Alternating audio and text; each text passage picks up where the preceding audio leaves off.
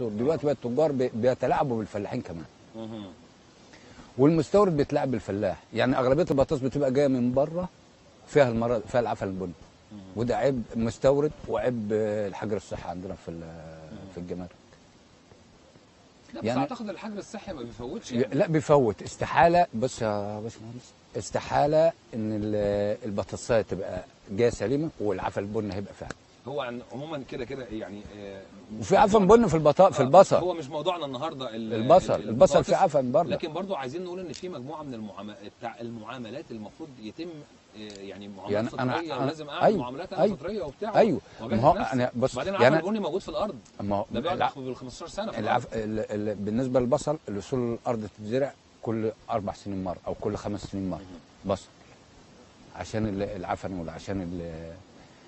هنا المساحات قليلة. مش زي البحيرة زي كفر الشيخ. أيوه. مساحات كبيرة. يعني هنا يعني أكبر حيازة تلاقي 10 فدادين ومتقسمين مش كلهم قطعة واحدة. عشان هيزرع هنا هيزرع هنا السنة دي مش هيزرع. إنما في بقى موضوع مساحات مهم أيوة. جدا موضوع تطبيق الدورة الزراعية. أيوه. مفيش الدورة. بص زمان أيام القطن كانت الأرض بتجيب محصول 10 على 10 لأن القطن كان بي... بالقط... آه بيطبق الدورة. القطن كان بيفتح مسام الأرض. مهم. وينضفها دلوقتي مفيش الفلاح ما من من سنة ما القطن اتشال آه، والدورة اتمنعت أصلا.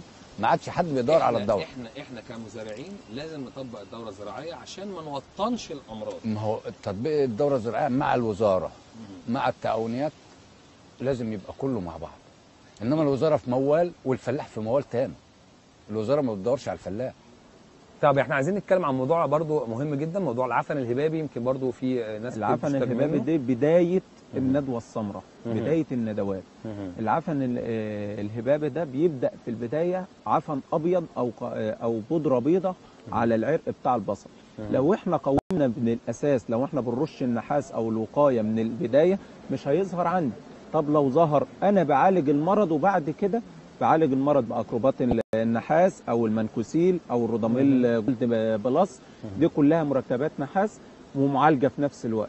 لو عالجنا المرض وبعد كده دخلنا برشة كالسيوم هنعمل إيه؟ توازن في النبات بمعنى إن العرق يكون صلب ما ما يتبقاش مرخي إن هو يشيل العفن الهبابي على البصل. معنا.